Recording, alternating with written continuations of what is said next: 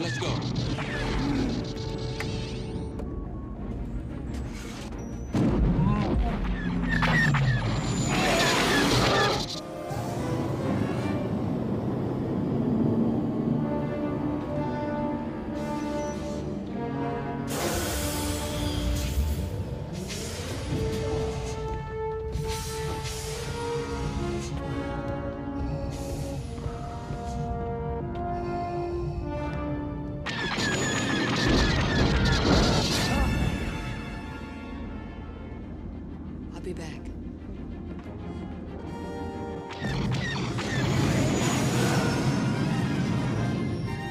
Destroyer.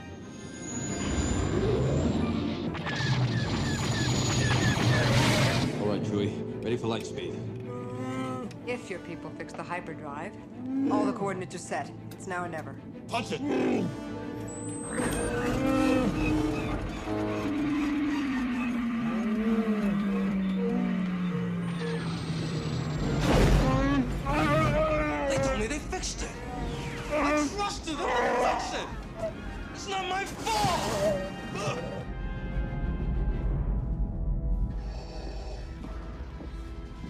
They'll be in range of our tractor beam in moments, Lord.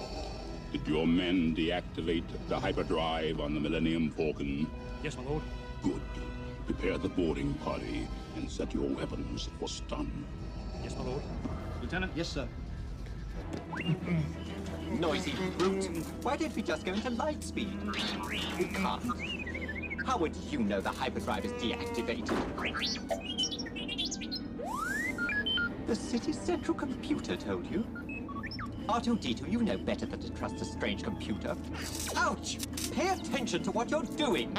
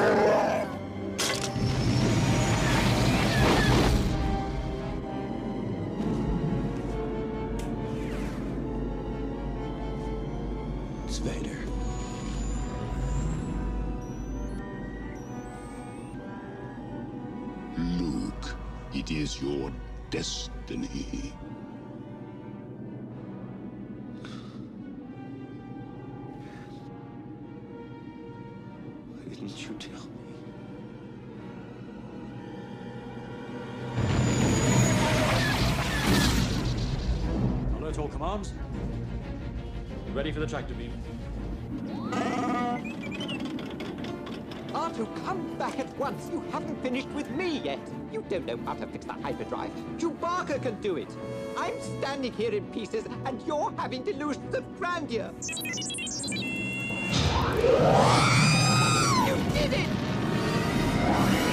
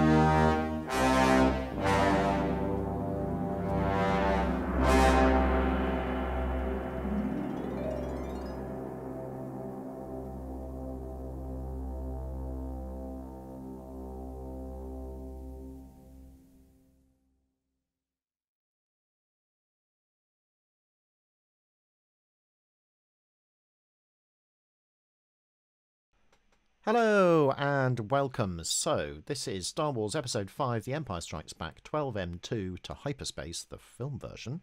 Music by John Williams, orchestrated by Herb Spencer. Um, and the first thing to say is there are at least three different versions of this cue. so it gets very confusing. Um, and uh, the film version has these sort of strange inserts. Um, so where it segues completely into um, the previous cue, losing a hand, just copied um, and then sort of cut to bars 12 to 19. There's all sorts of very strange things going on, especially uh, at that point. So if I can just play you a little bit of that. Uh, not that one. Uh, that was the concert version. So let's go into this one.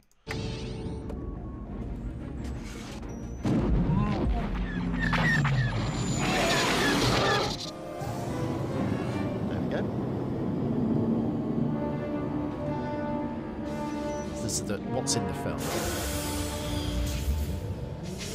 So notice the edit coming up.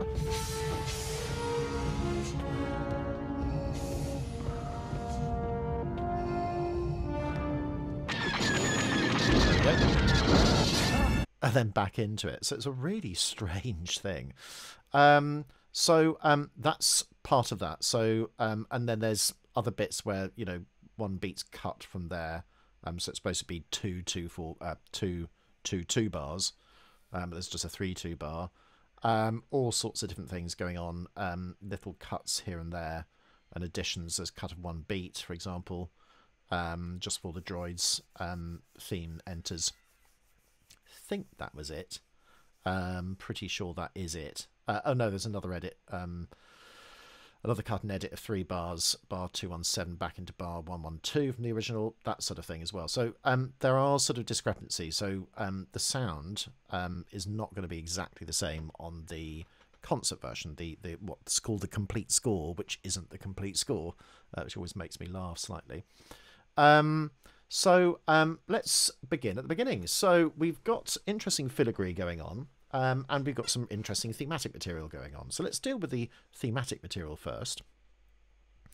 Um, and I say that, and then suddenly it's all disappeared from my uh, desktop. So uh, let me bring it back.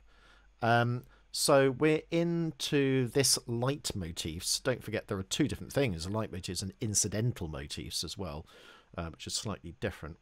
Um, so we've got uh, Dark Side here, mainly this 16B ostinato uh, with no chord. It's just a unison, and then uh, the melody, uh, which is um, sort of um, triadic, basically. Um, 16C, um, Frank says, is prone to extreme pan-triadic chromaticism, internal modulations in full statements. So it basically means that they can be freely um, sort of it's block chordal harmony um, and um, and it's triadic um, and it tends to not necessarily follow any specific scheme. Um, so most of them are just sort of transpositions, really, rather than anything else. So they're just sort of transposed up by two semitones. Um, and then, in fact, they're, they're also got little replies as well. So those, those go all the way through. I haven't necessarily highlighted absolutely all of them, but I think it's important to just make sure that we know what's going on. So we've got that dark side thing here. We've got the dark side melody there and then we've straight into Han and Leia's theme as well. So it starts off in a B flat Hungarian minor, um, and we can sort of see that because of what's going on in the filigree.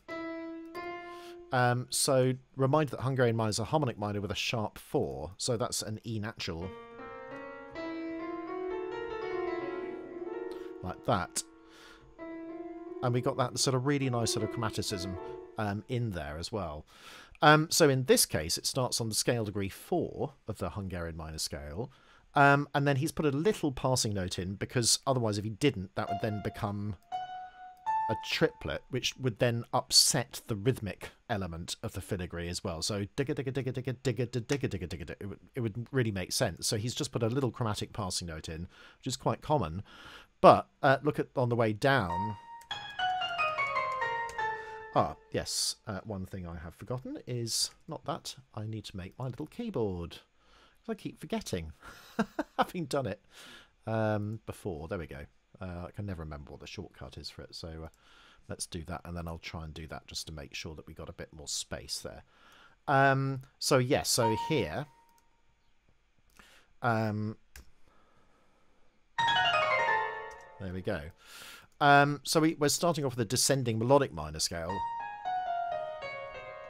but then we go to the A natural instead of the um, the A flat. And those sorts of, uh, not quite false relations, but those sorts of uh, juxtapositions of major and minor are very important in this cue. Um, because really, right at the very, very end, sorry to preempt it, we get this amazing chord, which is both an E flat major chord and an E flat minor chord at the same time. Really weird. That's what I remember listening to it for the first time thinking, what is that? What is going on? And it's just, it's a major minor chord. So um, actually an alpha chord. Uh, so 417 alpha chord. Um, it's a major minor chord. Uh, and I'm put in, trying to put in, I'm trying to get better at this, but trying to put in little neo-Riemannian uh, Riemannian uh, things as well, because um, it seems to be the sort of thing to do, um, but I'm just not very good at it, I'm afraid. So I apologise. Um, I'm not sure how meaningful it is for other composers. So I think that's kind of a way uh, one I've shied away from it a little bit. Um, but obviously, if you read Frank's book, um, Hollywood Harmony, for example, nice little plug for you there, Frank. Um, he's got uh, a whole table filled with those um, uh, transformations which go from either a major chord to a minor chord or minor chord to a major chord and the various other directions that it can go to.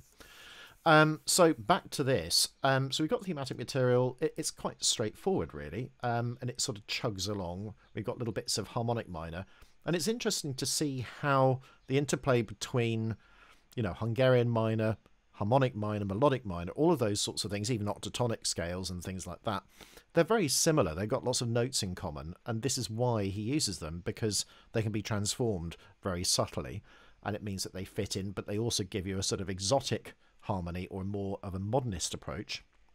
Uh, not quite into the atonal sphere, uh, sphere, but certainly an expansion of tonality as it was uh, in the 19th century and then sort of early 20th century, kind of Bartok Stravinsky area, um, more than Strauss. Uh, you know, uh, what my old professor said was, was the real second Viennese school. The third Viennese school was um, Schoenberg, Berg, and Webern interesting. Anyway, um, I digress slightly. So um, we've got this going on. So we, we've got uh, Hungarian minor, we've got um, just planing, um, and then little dyads. Um, and it just sort of continues there. It's very difficult to hear the clarinet on, on any of those recordings at that point. I'm not even sure whether it was recorded, in fact, but it could just be taken down very low. Um, and then as it changes, we, we then go into a dum ba da dum. So actually, it's it's strange because um, we're in a sort of D major territory. Um, but with an F sharp in the bass, kind of. Whoops. Um, let's do that.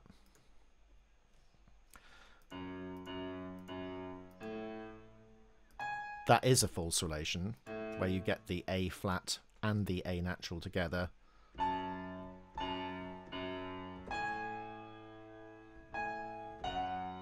Like that. And then G flat Hungarian minor.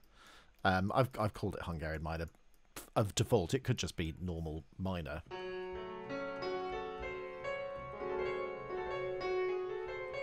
Ah, yes. Well, actually, the C natural gives us a little clue, which you do hear actually on the album at both times. Um, so that's an interesting little uh, note at that point. Um, so then um, it's well, let's try and play some of this. So um, the, the difficulty with this is knowing which version to play. So I'm going to start with the clearer score version. And I'll try and default to that most of the time. Let's just start, start at the beginning. There it comes.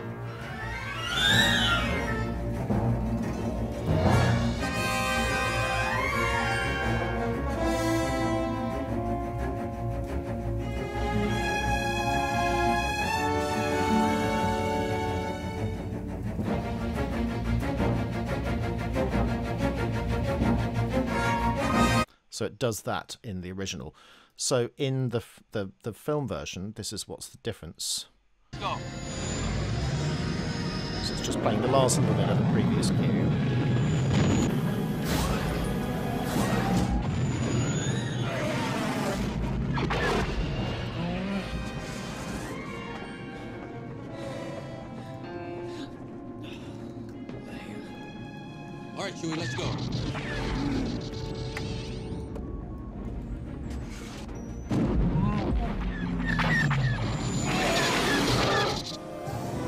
So this is the cut.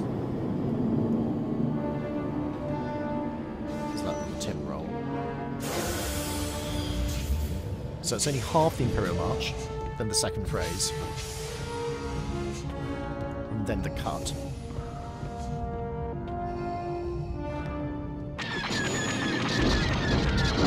And then it goes back into um, whatever's going on. Let's see whether that occurs in this one. No, doesn't even go there.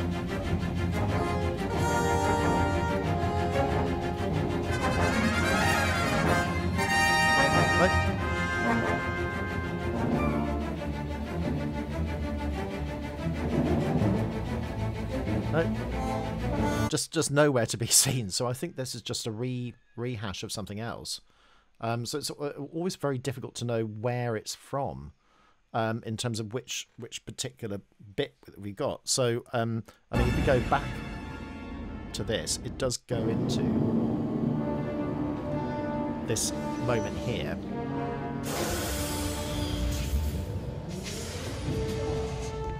This is where Vader's stepping off his shuttle.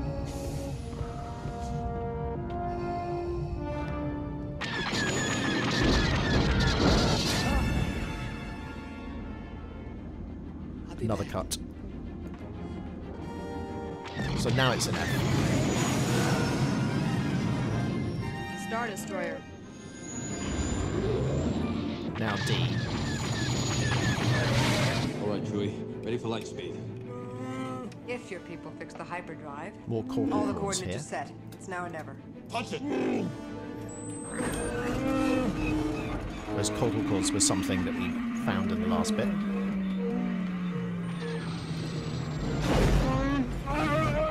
That's all I'll play for now. So um, let's just recap over some of that. So um, yeah, we're, we're back into the B flat Hungarian minor. That continues actually on the original album. Then it cuts into um, the the opening bars of Losing Hand. Then cuts into the next few bars of Losing Hand, bar 12 to nine, bars 12 to 19, and then it segues back into the original cue. Um, but with this, which I don't know, I can't quite tell where this this is from. So some of this is orally dictated. Um, so there's going to be bound to be a few sort of errors particularly here, it's very, very difficult to hear whether that's a D flat or a C. Um, and because of, you know, differences in in tape stretch, maybe, I don't know, it, it- it's almost impossible. It's probably somewhere between the two, really. Um, so a, a sort of uh, an odd one, really. Um, but um, I was trying to think, well, is there an interval cycle set up here? You know, is he going sort of B flat, then he's going down a major third to G flat, up a major third back to B flat, um, then it continues, but then it's down a perfect fourth to Hungarian minor. So no, is there's no interval cycle of thirds. So this one's down a fourth. Um, so it's as if the B flat is a dominant of F minor. And he changes the ostinato a little bit.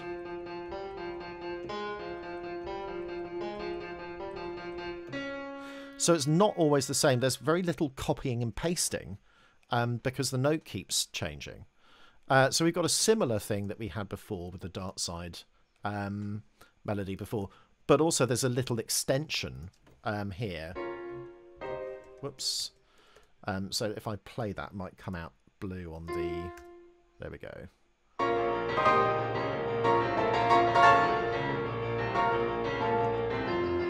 Let's try to just play those on their own.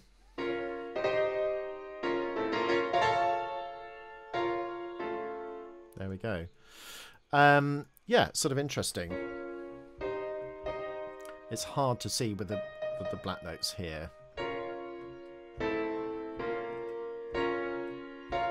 So it's just using the inversions. So now A augmented, back to B flat minor. Um, and then another one of those, again, all over B flat, basically. Um, so all of these are sort of B flat in the pedal. Um, so, um, yeah, all sorts of interesting things um, going on, uh, especially minor. And then that augmented. And then another augmented chord at the end. Um, and then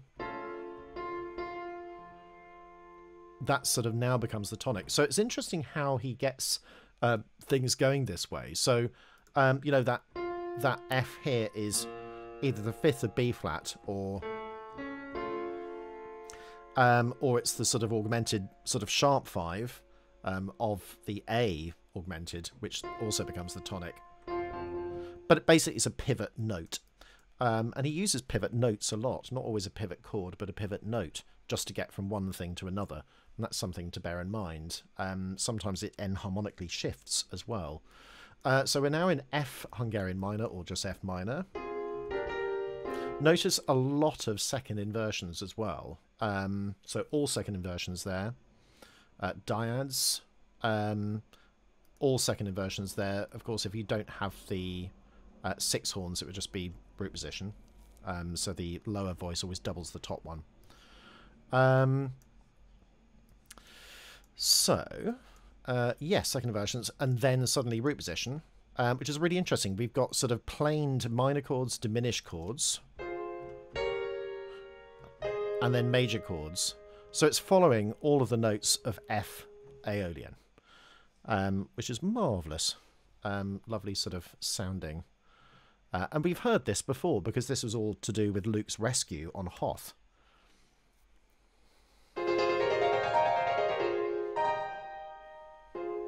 There's something sort of rather heroic about it, which I think is why it was probably used. Um, but we're still in a minor mode.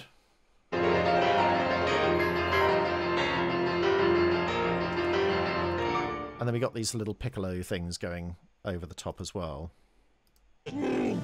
Let's try going back to... Yeah. This concert version. Yeah. A little bit of block. So now to D. Now to A. So it's interesting, though, those sort of um, tonal changes are sort of quite interesting because there doesn't seem to be a scheme um, other than the fact that it's just preference. Um, so here, uh, you know, that we don't really have the same kind of um, uh, um, swapping, but there is a pivot note from that F, which then becomes the third. Um, so that's interesting. Uh, so So they're all part of the same triad, that D triad. F, which we just had, the D, and then A. So it could be triadically based, um, kind of. Um, so both major and minor thirds, um, and sort of fifth relations as well. So that well, that seems to sort of work out. And then it, again, we've just got little bits of sort of small amounts of filigree um, going on as well. Let me just take it back.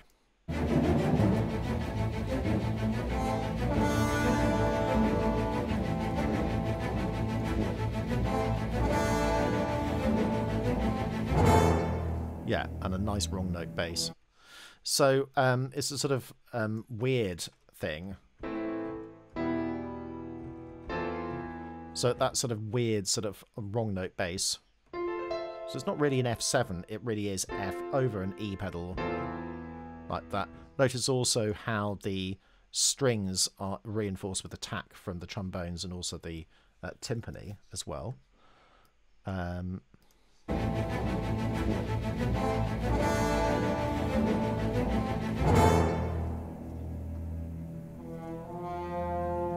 can't hear those that harp. Now we're back into F minor. Right. And and also there's there's a cut as well. So um if I go back. It's the same place.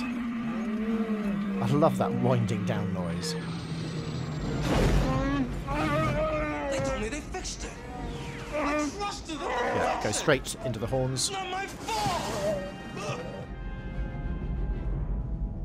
So yeah, and then we're into the Imperial March. So um, uh, after this sort of stuff that we've seen before, again, it's just F I Aeolian now. Um, exactly the same that we had. Don't forget all these nice little sort of short longs, which is a John Williams trope. Basically, it's in virtually every score that he's ever done. Um, this sort of short long, I call it, um, and it's everywhere. So even reinforced here. Um, so yeah, a, a nice sort of fun thing, and it's just using sort of fifth um, relations, so just arpeggiations of F. Um, so let's go back to the score. Yeah, you can see how it was cut out.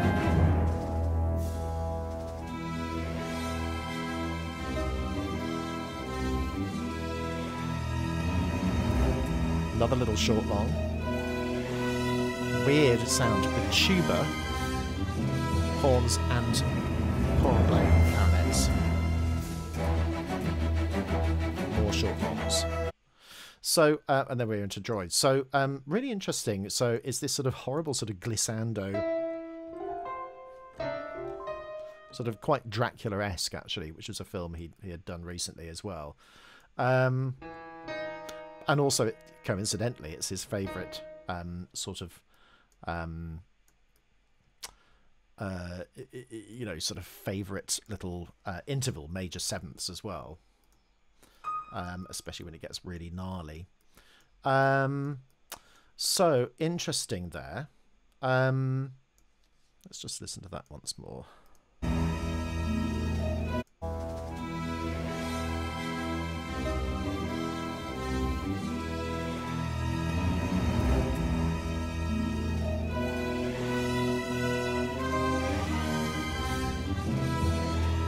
What I find really interesting is that I, I was thinking, oh no, I've made another error, but actually he is sort of preempting the D sharps before the strings get to it, which I think is really interesting.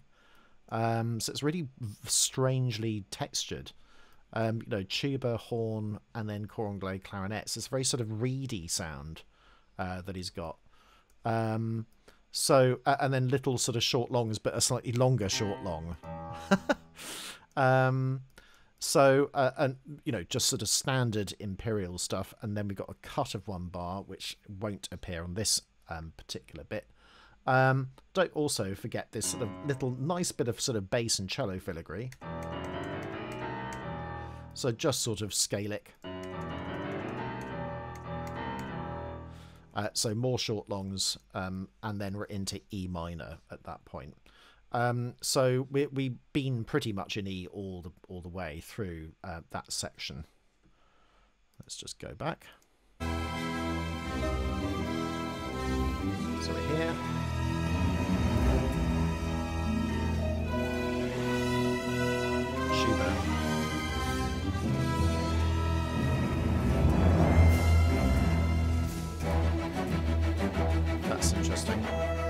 Yeah, so there is a cut of one beat, so that's why you didn't hear the other bit of percussion. Let's then listen to this next bit. More filigree. Upper minor third to G minor, classic.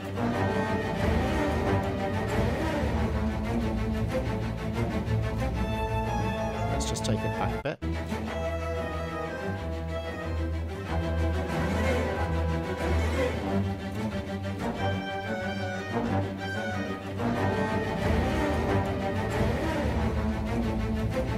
Yeah.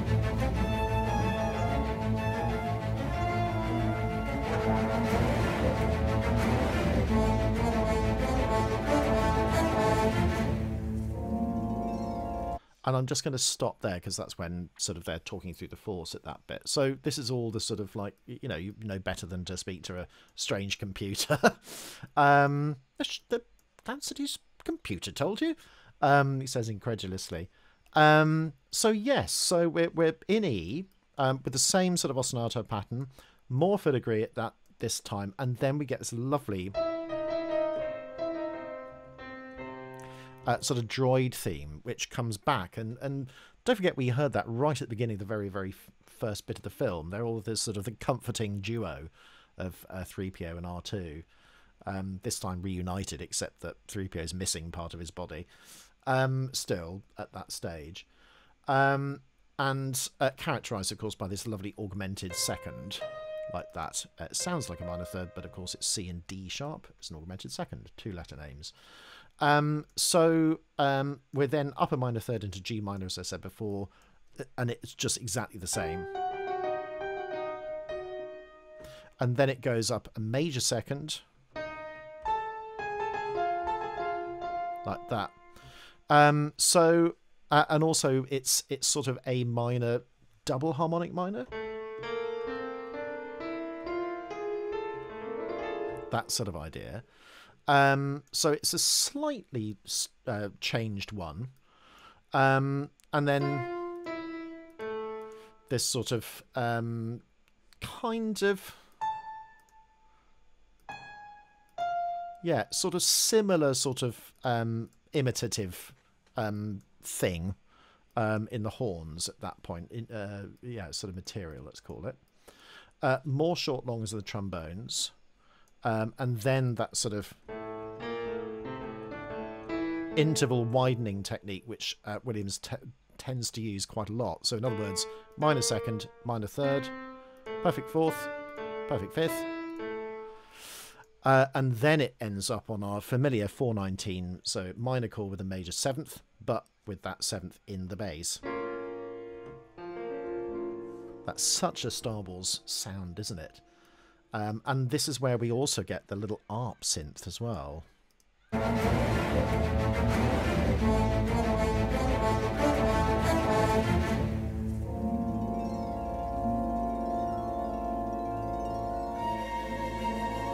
Can't hear the synth.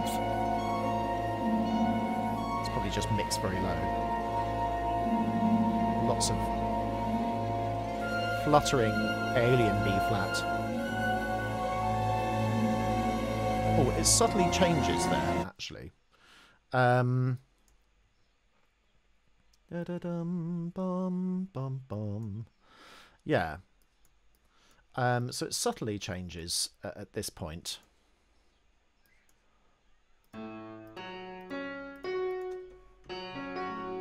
Um, so it's it's um, actually an enharmonic um, sort of chord. Um, so it's actually a G flat minor chord, which is an extraordinary thing to have. um, but with the A in the bass, so um, basically uh, in first inversion. G flat minor. Wonder what the uh, key signature to that would look like. Uh, whoops, keep doing that. Um, so there is a subtle change at that point as the obviously the chord needs to change. And then because it goes back into B flat. Um, so let's continue with this. Actually, before we do, uh, before we do, just worth mentioning this sort of filigree. So it's all sort of fluttering.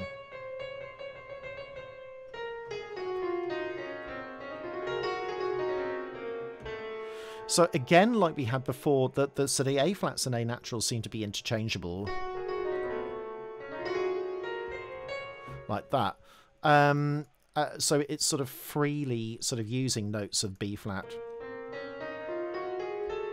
like that, but with an extra note, which is interesting because that's exactly how the whole piece started. And it, this is the thing with Williams; it's so motivically linked um, that it's very difficult to sort of distinguish what isn't motivic because virtually everything is. It's derived from somewhere.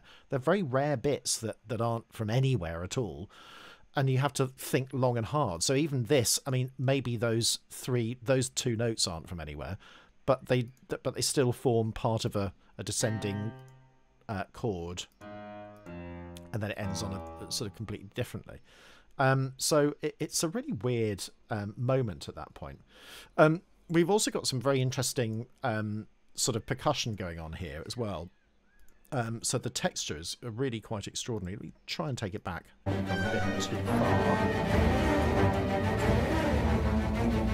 So this is the A minor section. That's where we.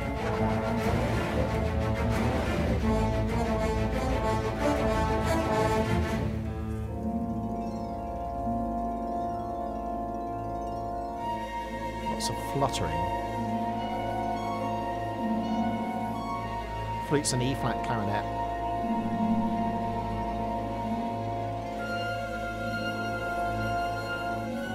There it changes.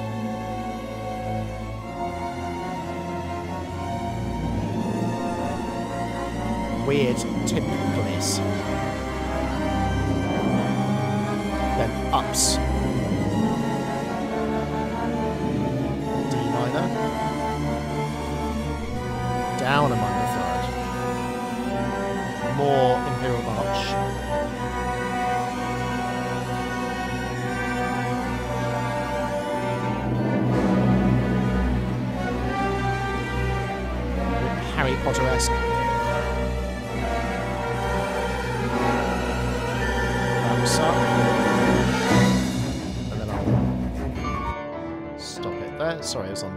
Things at that point. Um, sorry about all of that. Um, so, um, yeah, really sort of really interesting. Um, really, really interesting. Lost where I was now.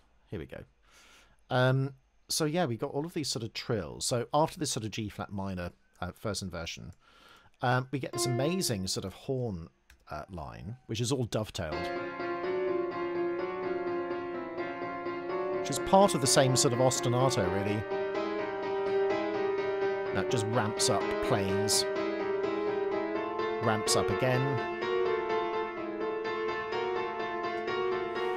So they seem to be playing notes of the third and the fifth of the chord, not the tonic. Um, and actually, the tonic is is delayed until the end of the bar. So we we got this sort of feeling of dominant.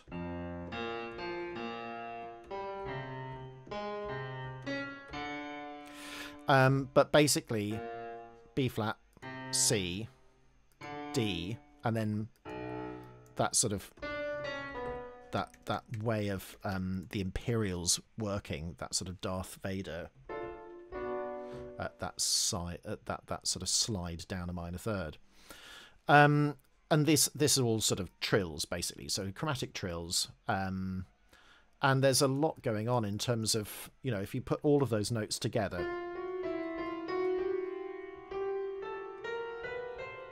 That's most of the chromatic notes.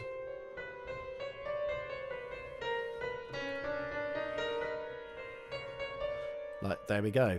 But it's also interesting, another sort of interval widening technique that he uses here. Um, so, so perfect fifth, another perfect fifth, then a minor six, then a major seventh. So changing the so interval widening is is definitely something that he uses quite frequently. Um, and then he's got all sort of two harps celeste going on, harp gliss, which continues all the way through. Uh, and then this amazing sort of um, you know timp rolls, but um, glissing on the pedal. Um, presumably just one timp, uh, although going from an F to a D uh, is is really impressive. Um, so maybe it, it, it is doing that, um, but uh, obviously you would need quite a bit of tuning afterwards, I'd imagine. Um, and then we got this sort of Phrygian filigree. Uh, whoops, sort of goes on somewhere completely different. There we go, sort of Phrygian filigree. I quite like the alliteration there. Um, and then we've got sort of another bit. Of, and uh, the reason I wrote all the intervals out was to sort of think, well, is there some sort of thing going on here? There does eventually seem to be some sort of thing going on to the thirds. Um, so it's a type of ladder of thirds where that top note is then the next chord is a semitone lower than the previous chord's top note.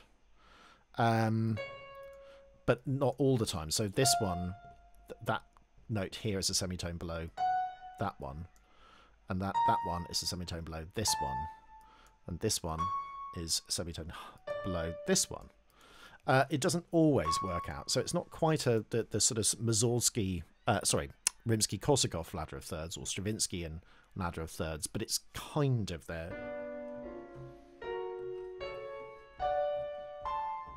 Um, sorry, uh, it should be a C sharp at the end. Um, so a, a, really interesting sort of way of it, it sort of glissandering, having this sort of really strange sort of um, chromatic um, idea, but it's actually over a stable bass um, of B minor. Um, so it, it, it, retains its harmonic integrity, I guess I'll just take it back a little bit.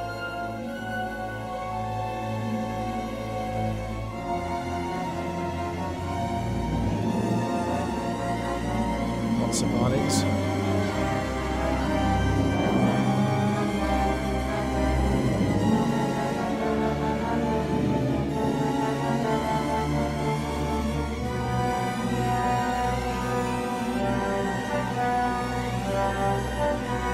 Glissandos.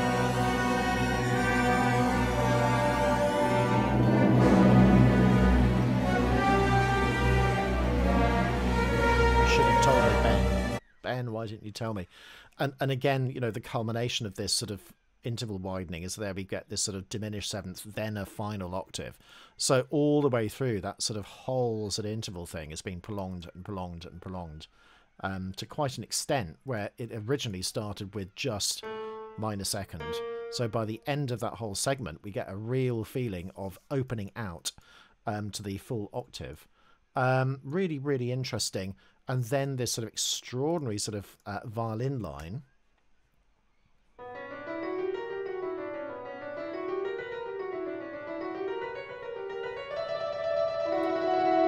So almost all chord tones of just B minor. Um,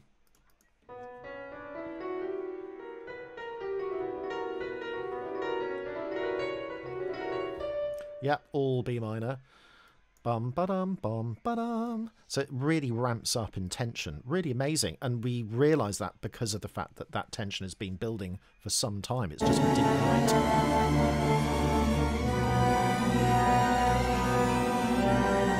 Trombones. And then it dovetails. It's a nice bit of sort of thematic dovetailing where the, the, the second half doesn't wait for this first half to finish. Um, so low trumpets, which are very effective, actually. There's a lot of going around. You might sort of think, oh, low trumpets with all of those very, very high horns going on. Would it get lost? No, it doesn't. It's reinforced by oboes as well.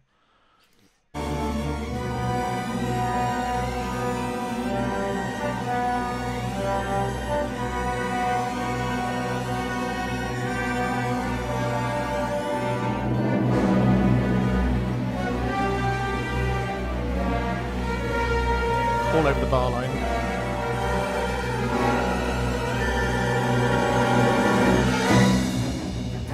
Yeah, and basically pan diatonic, so um, it's sort of B minor.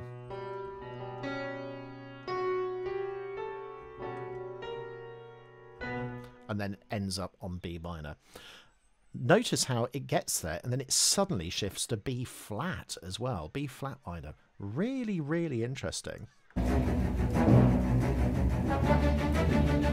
Well, it, it, it does in the film, so let's try and get to that bit in the film.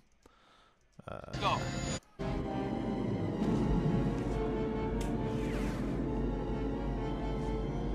It's Vader.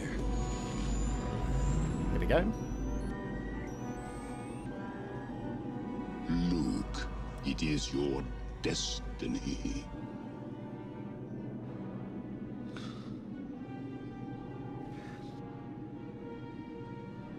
Didn't you tell me?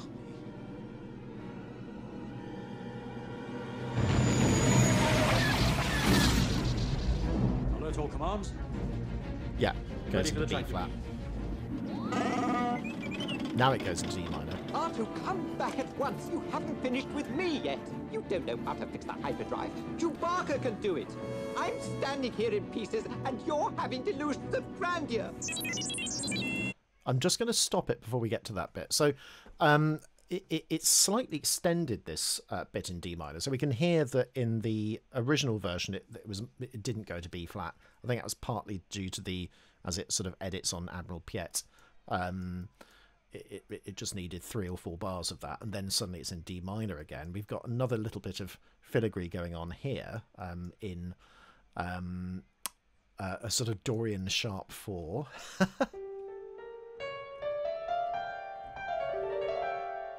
like that uh, sort of harmonic minor modes i'm using those um, from.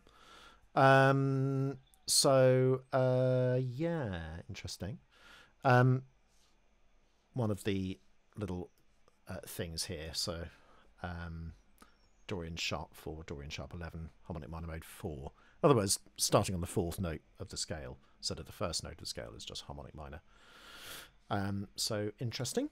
Um, so that can go back um, let's go back into the score version, see whether we can locate everything.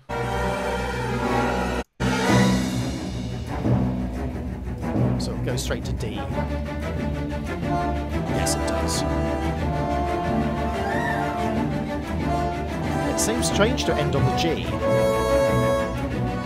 Yeah, so it's it just um it just changes somewhat. So it goes from D then back down to a B minor third. So it, it's always shifting sort of B B flat and then D that sort of area. Um,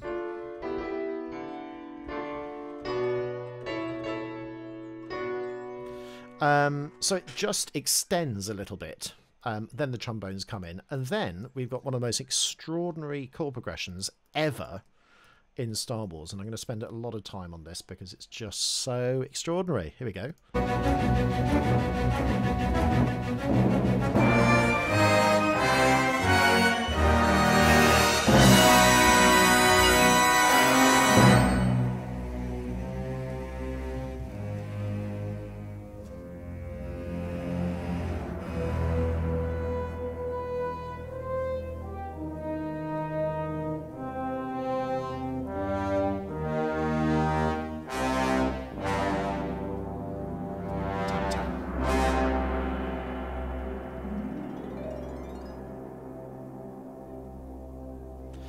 So interesting, yeah. Um, actually, it ends with a sort of C um, minor thing, but of course, going to the next thing, it, it actually is a different scale um, as well. So interesting at that point. Um, I'm going to double check that um, just so I know, because I'm pretty sure even in the orchestrated score, um, which sadly I can't show you, because otherwise I'll get taken down. Um, it is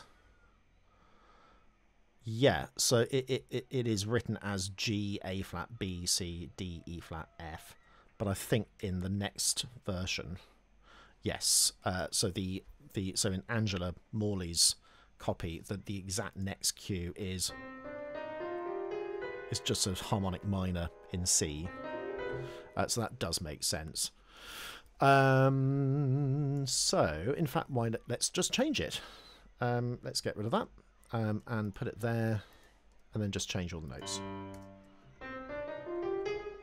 There we go. Um, and then we don't need to write that because it's just a uh, C harmonic minor. There we go.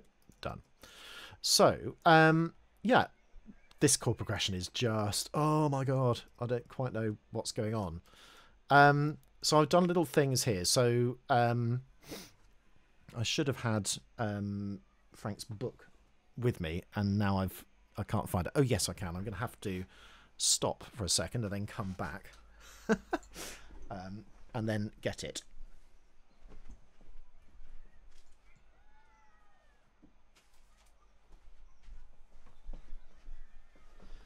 Uh, I'm back. That's a fun, fun bit of silence, wasn't it, everybody? Um, so, um, yeah, so T is transposed by P is parallel. Um, L is a leading tone. Um, so R is relative. Uh, H is hexatonic. Um, and T is transposed. So we, we've already looked at that. So there are all sorts of these um, little procedures that you get. Um, really to do with smooth voice leading, I guess. Um, but also the hexatonic thing is is remarkable. So um, what I found sort of interesting was the relationship between this major minor chord, um, which is very much here, So that's part of this is 620 by the way. So that's that's a, a hexatonic set.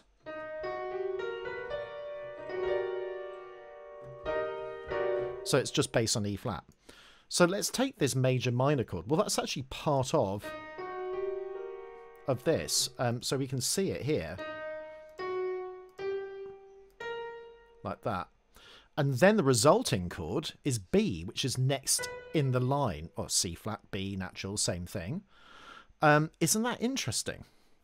Um, and then B, so imagine C flat is B, then G flat is F sharp, and E flat is D sharp.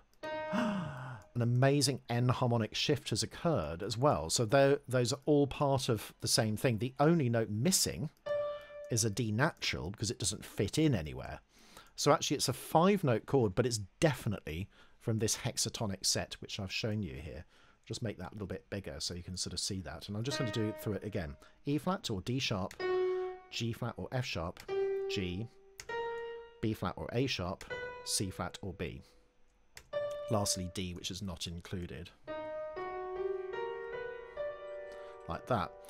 Um, and the, the interesting thing is it's a symmetrical scale. So we've got a minor third, minor second, minor third, minor second, minor third. Uh, or in this case, augmented second, but it's still a minor third because you can rewrite it like that. Um, so um, a really extraordinary little bit of how to get from there to there. So I'm, I'm going backwards here. Then the F sharp becomes the uh, third, so the root note becomes the third of the next note. Uh, sorry. Ah. there we go. It was there. Um, so... But yeah, we could write it F sharp or E flat. But look.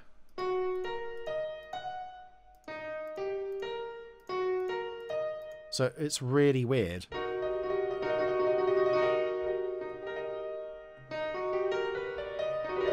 That hexatonic idea, uh, which pervades um, Star Wars, although less so, oddly enough, in Empire Strikes, but more octatonic and Hungarian minor most of the time, and even um, the, the sort of hybrid scales like that Super Locrian mode, 734, which is basically half uh, an octatonic uh, with a whole tone uh, in there as well. Um, definitely something that any jazzer would have um, known about. Um, so what's going on elsewhere? So in in B flat, but it, it, doesn't. It, it's not in B flat. It just is a chord of B flat, um, because we we we've been come coming from B minor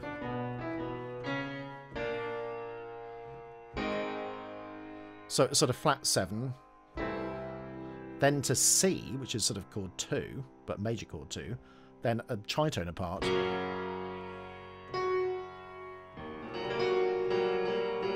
Then we got this alpha chord, and then B in the end. Absolutely extraordinary. Um, so really the B flat to F, uh, sorry, the B flat to A flat is just a planed chord Ah, look at this. It's a really interesting interval widening technique, isn't it? So the B flat to A as a second. That's a third. That's a tritone. Then it breaks down after that. Another third. But then it does pave the way for a diminished fifth um, as well. Um, so it's kind of interval widening. It's just that it's not between there and there. But I think it needs to pivot anyway.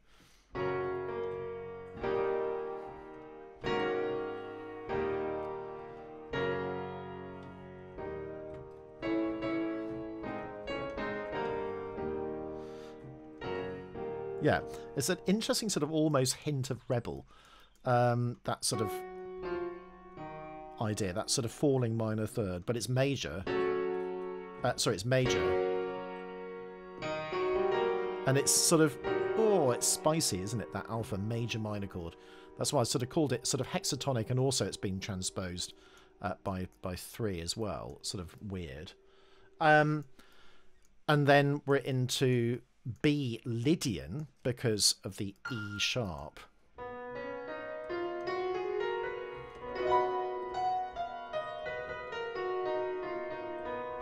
like that. Um, and then we get this really weird, sort of dissonant C, like that, which is then echoed in the bass after the sort of big climactic bit. Really, really interesting. I mean, sort of astonishing, really.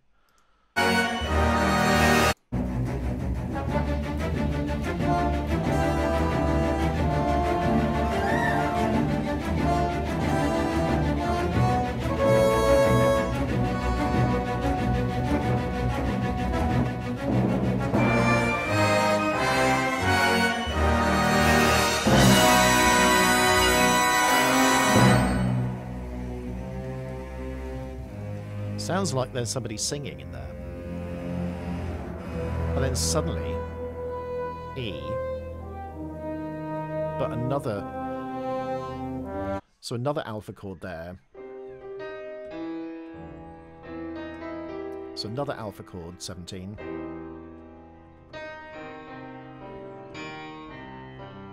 And then going to C, which is the key of the next uh, cue.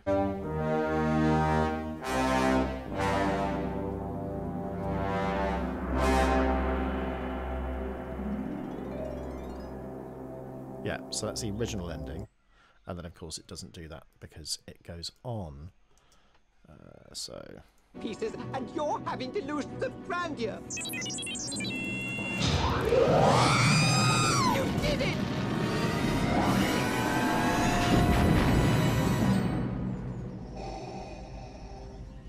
So ominous, that sort of breathing is like, oh no.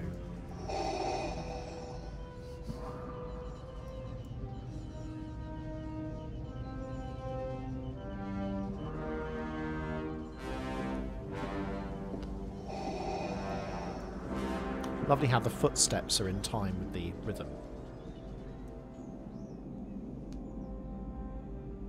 And a really lovely segue into the um, into the final cue, which is our final cue of the film. It's just it's um it's coming to an end. Um, it's been a, an absolutely incredible journey to do this film. It really has. I feel as though sort of Phantom Menace sort of paved the way for this. I don't think I could have started with this film because it's you know some of the techniques that I've sort of developed um, in terms of sort of bringing this to you, uh, bringing the score to life, or the sort of orchestration, or the musicianship and motivic structure and themes and and harmony more than anything else. Really, that's what I've been focusing on. Uh, it's been a real pleasure, really, to to um, sort of produce this. Um, so um, we are almost at the end. Um, I probably won't do the concert versions of the um, other things after the credits because although they're recorded, um, they're not really part of the film. Um, so we're now on to finale, um, which is uh, Angela Morley. Uh, in fact, so it's actually quite a short um, little cue, um, but filled with interest. And then, of course, we're into the end credits where all the main themes come back anyway. But it's interesting because of the orchestration is very different from the well, not very different, but but a little bit different from the ones that we're used to hearing um, in concerts, um, because it's a cut down uh, orchestra. That one. So um, thank you very much indeed for being with me, and I hope you enjoyed it. And um, I look forward to bringing you the final cue and then the end credits of The Empire Strikes Back. See you next time.